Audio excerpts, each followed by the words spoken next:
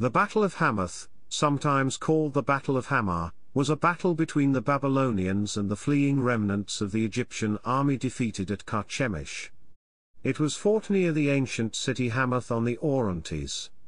In this battle, Nebuchadnezzar further shattered the remnants of Necho II's Egyptian army that he had previously defeated in the Battle of Carchemish. The battle is mentioned in the Babylonian Chronicles, now housed in the British Museum. In the Chronicles it states that Nebuchadnezzar II killed almost all of the Egyptian combatants, so exhausted that none of them returned to their own country. The Chronicles do not mention Necho and the Bible only mentions Necho's army, and it is possible that Necho wasn't present and the Egyptian army was just a garrison army. He was dealing with various rebellions in the Delta.